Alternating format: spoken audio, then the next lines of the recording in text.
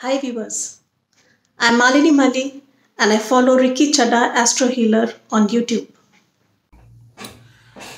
Hello मित्रों। रिकी चड्डा आपके सामने। आज मैं आपके सामने एक ऐसा विषय लेके आया हूँ और पिछले कुछ दिनों से हम इसी के इसी विषय के बारे में बात कर रहे हैं जिसे हम गोचर कहते हैं ट्रांजिट कहते हैं। कुछ ट्रांजिट अभी अभी हाल ही में हो चुके हैं और कुछ ट्रांजिट जो बहुत इंपॉर्टेंट है, होने को जा रहे हैं। उनमें से एक ट्रांजिट जो है वह 31 अगस्त को होने जा रहा है। अब ये कोई राशि परिवर्तन तो नहीं, लेकिन राशि राशि परिवर्तन भी है, लेकिन उससे ज़्यादा वो एक नक्षत्र परिवर्तन या एक गोचर ट्रांजिट है, जो कि मंगल का है, जो मंगल अस्त अब अस्त है और वो 31 अगस्त को वो उत्तरा फाल्गुनी नक्षत्र में प्रवेश करने जा रहे हैं। उत्तरा फाल्गुनी नक्षत्र के जो स्वामी हैं, जो लॉर्ड है, वो है सूर्य। उत्तरा फाल्गुनी में ये थर्टी फ़र्स्ट यानी कि इकतीस अगस्त को ये प्रवेश करेंगे और 21 सितंबर तक यहाँ रहेंगे। और जैसे कि आप सभी लोग जानते हैं या नहीं जानते तो बता दूँ कि हर एक नक्षत्र के में चार चरणा होते हैं, जिसे हम पदास भी कहते हैं। एक पदा जो सिंह राशि में पड़ता है और बाकी के तीन जो हैं वो कन्या राशि में होते हैं। 6 सितंबर तक मंगल, अस्त, उत्तरा फाल्गुनी में ही रहते हुए सिंह राशि में रहेंगे, क्योंकि वो पहले चरण में होंगे। तो ज़्यादातर जो ऊर्जा होगी वो सूर्य की होगी। लेकिन उसके उपरांत 6 सितंबर के बाद ये कन्या राशि में जब प्रवेश करेंगे तो एक बुद्धि, बुद्धिमान जो ग्रह है, जिसे हम बुद्ध कहते हैं उसके राशि में प्रवेश करेंगे और सारी की सारी ऊर्जा वो वहीं से अर्जित करेंगे। अब हमें समझना है कि ये उत्तरा फाल्गुनी नक्षत्र है क्या? उत्तरा फाल्गुनी नक्षत्र एक ऐसा नक्षत्र है जिसमें एक दोस्त है, जिसमें आप इस नक्षत्र का जो चिन्ह है, वो है एक बेड, यानी कि एक पलंग जिसके दो पाए जो होते हैं पीछे के, यानी कि आप आराम से तकिए पे सोए हो मतलब इसको हम बोलते हैं अंग्रेज़ी में लेड बैक यानी कि आराम से सोया सोया हुआ एक व्यक्ति। यहाँ पे ये व्यक्ति मस्ती करना चाहता है, प्यार करना चाहता है। इसका एक बहुत अच्छा दोस्त है। वो दोस्त जिससे ये प्यार करता है, उस तक वो मैसेज लेके जाता है, जिसको हम आर्यमन कहते हैं। और फिर मतलब इस तरह की एनर्जी है। और क्योंकि मंगल इस एनर्जी में उतर रहे हैं, यानी कि उत्तरा फाल्गुनी में उतर रहे हैं, आपको पता है कि मंगल क्या है? मंगल एक सेनापति है।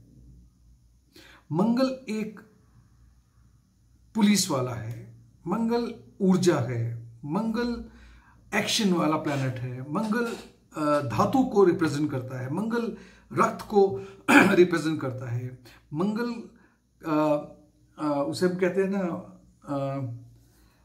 वेपन्स को ये करता है। अब ऐसा मंगल जो इस तरह की नेचर लेकर के इस इस नक्षत्र में उतर रहा है और वो भी तब जब वो अस्त है।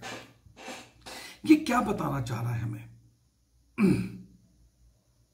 थोड़ी देर के लिए आपको बता दूँ कि मैं किसी भी एक राशि पे बात नहीं कर रहा हूँ, लेकिन इन जनरल हम क्या सोच सकते हैं? थोड़ी देर के लिए सोच लो कि एक जवान है, एक आर्मी का कोई व्यक्ति है या पुलिस वाला है या पॉलिटिशियन है या ऐसा व्यक्ति है जहाँ पर उसको, उसका जो रुतबा है, ओके? उसका जो रुतबा है, उस रुतबे के हिसाब से अगर ये नक्षत्र में प्रवेश करेंगे मंगल तो क्या होगा? कभी कभी ये बहुत अच्छा भी होता है। जैसे कि अगर आपके घर में आपके पिता या आपका कोई भाई या आप खुद घर में बहुत ही रुतबा रखते हो तो अब थोड़े दिनों के लिए आपको थोड़ा सा ऐसा लगेगा कि नहीं यार मेरे को थोड़ा सा लोगों से बैठ करके बातें करनी चाहिए, थोड़ा प्यार मोहब्बत से बातें करनी चाहिए। अगर रिलेशन में कोई थोड़ा सा वो है तो उसमें भी आपको थोड़ी सी स्मूथनेस नज़र आएगी। अगर आपका कारोबार पार्टनरशिप में है, और पार्टनरशिप में आपको पता है वो तालमेल की बहुत आवश्यकता होती है, वो तालमेल भी बनता नज़र आ रहा है। दिक्कत कहाँ आएगी? कभी कभी ऐसी कुछ कार्य क्षेत्र हैं, जहाँ पे अगर हम थोड़े से कमज़ोर पड़ जाएँ अगर हम थोड़ा सा एक ऐसा एटीट्यूड कर ले जिसमें हम थोड़ा सा, अब सोच लो कि मैं एक बॉर्डर पे खड़ा हूँ और मेरा काम है कि मैं आँख आँख ना झपकूं और मेरा निशाना बना रहे। अगर ऐसा जवान, ऐसा व्यक्ति अगर थोड़ी देर के लिए मौज में आ जाए, मस्ती में आ जाए, सो जाए तो क्या हो सकता है?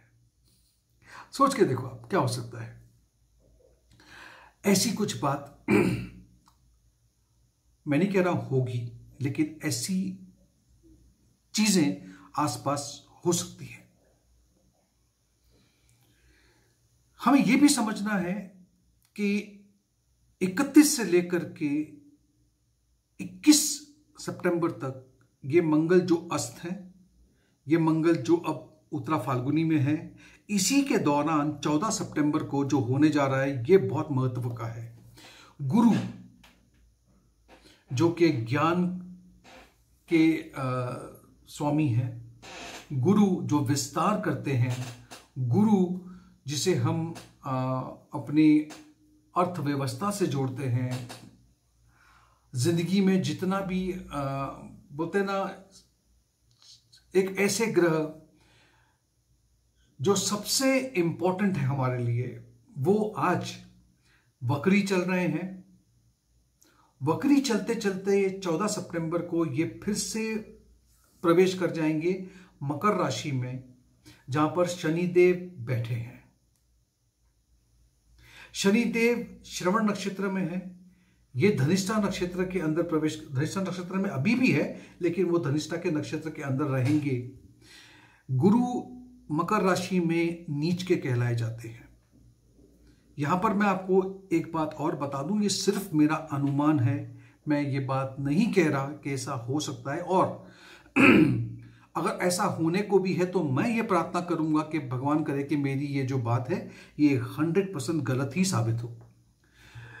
जब कोविड नाइन्टीन की शुरुआत में हमने देखा था, जब ये पीक पे आए थे, तब मैंने नोट किया था, ये मेरा अपना अनुमान था। और बाकी के कुछ लोगों को जिनको मैं हमेशा कंसिडर मतलब मेरे कोई आ, मित्र हैं हमने ये देख पाया था कि जब भी शनि और गुरु की युति हुई थी कंजंक्शन हुआ था जो अभी फिर होने जा रही है 14 सितंबर को तो मैं इसको जोड़ के देख रहा हूँ कि क्या ये कोरोना का या कोविड का थर्ड फ़ेज़ को बढ़ावा दे सकता है? क्या ऐसा हो सकता है? जहाँ पर मंगल भी अस्त पड़े हुए हैं। राहु देखिए, जिस अभी भी राहु उसी जगह पर है, जहाँ पे पूरे कोविड के टाइम पे राहु राहु वहीं पर वृषभ राशि में ही थे। और वो कृतिका नक्षत्र में आ रहे आ रहे हैं। इसीलिए मैं कह रहा हूँ कि ये एक खाली एक अनुमान है और भगवान करे कि ये बात बिल्कुल ही गलत साबित हो, मुझे खुशी होगी इस बात की। अब, आपके लिए जो काम मैं देने जा रहा हूँ वो ये है कि आपकी कुंडली में ये मैंने बिल्कुल ब्लैंक रखी हुई है। आप अपनी कुंडली उठा करके देखिए, जहाँ पर पाँच नंबर, यानी कि पाँच नंबर का मतलब होता है सिंह राशि। छह नंबर जो होती है वो कन्या राशि। आप देखिए यहाँ पर पाँच छ पाँच छ पाँच छ पाँच छ कहाँ लिखा हुआ है। यानी कि मंगल यहाँ से यहाँ जा रहा है, मंगल यहाँ से यहाँ जा रहा है। देखिए, वो जो दो घर होंगे, उसी में सारा खेल होगा आपके साथ में। आपको यही देखना है। मतलब मान लो कि चलो, पहला घर जो है, वो आपका खुद का अस्तित्व है। दूसरा जो है, वो कुटुंब भाव है। तीसरा जो है, वो आपका परिक्रम भाव है भाई बहनों का है, मित्रों का है, पड़ोसियों का है। चौथा भाव आपकी माँ का है, प्रॉपर्टी का है, लैंड का है। आप देखिए कहाँ पर ये एक चीज़ होने जा रही है। उसी से आपको अनुमान लगेगा कि कहाँ पर मैं आपको इतना बता दूँ कि मंगल अस्त के होकर के इस नक्षत्र में उतर रहे हैं। ये नक्षत्र बहुत अच्छा है। मंगल के स्वभाव से ये मैच नहीं करता ये मेल नहीं खाता ये मैं बात को मानता हूँ। लेकिन फिर भी आप देखोगे इसमें काफ़ी कुछ आ,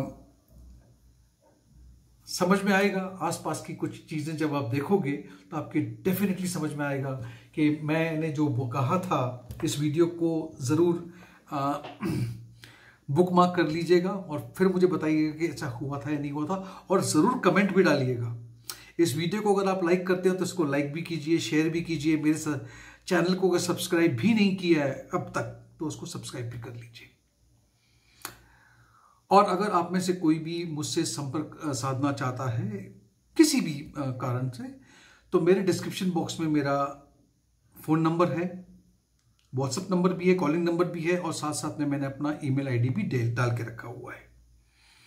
चलो, फिर देखते हैं कि 31 से लेकर के 21 सितंबर के बीच में क्या होने जा रहा है। उसके बीच में और बहुत से और गोचर, बहुत से ट्रांजिट्स हैं, इस पर मैं समय समय पे आपको अपडेट करता रहूँगा। Thank you so much